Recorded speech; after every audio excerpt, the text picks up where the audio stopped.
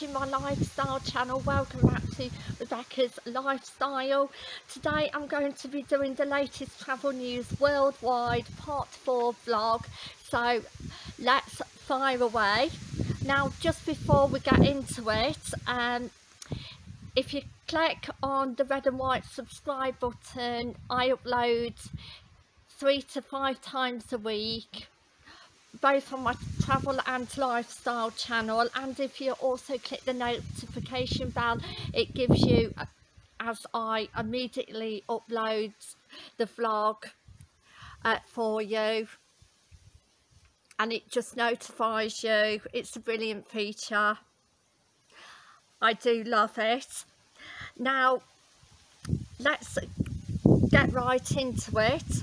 Now breaking travel news com is uh, where I've found uh, these latest cool facts and there are 10 of them. So let's fire away with the first fact and that is Airbnb relaunches stock flotation in the United States. Wow. Um, Airbnb has rekindled plans to list on the stock market in the United States and the move comes as concerns as the impact of the coronavirus ease on markets so that's good news and I really wish Airbnb the best of luck now uh, number two is Enter Air signs with Boeing for four fabulous 737 MAX planes. Air Enter Air has agreed to purchase of the four Boeing 737 MAX planes and all Boeing operators and uh, the biggest charter carrier is uh, Poland. The airline began operations in 2010 with a Singer 737 airplane. Wow, that's amazing. wish them the best of luck. Now, number three, our mine secures fresh funding to fuel expansion. That's really good news. And number four, Johnson's appointed the president of Borgata Hotel and Casino. So well done to that person. I hope it goes as well as planned. Now, Wizz Air has boosted uh, connections to Eastern Europe, Wizz Air has reinstated its London Luton flight to St Petersburg. Yay!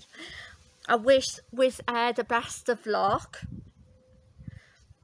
uh, for that. And number six the US Virgin Islands seeks to maintain connectivity during the lockdown working closely with accommodation and airline partners to ensure the territory has ample airlift. Now number seven that's really good now number seven change of financial leadership as Hertz. Car hire battles from bankruptcy. It's really good that um, they are battling back from bankruptcy and fingers crossed um, it'll everything will get better for the car hire company. Now num Number eight is the latest WTT Safe Travel replicants um, revealed that Croatia. And Ecuador and, Car and Ghana have become the latest travel uh, destinations to be awarded global global safety stamp of the World Tourism Council. So well done to those uh, countries. Now number fact number nine Atlantis the Palm partners with Jafari for fundraising initiative.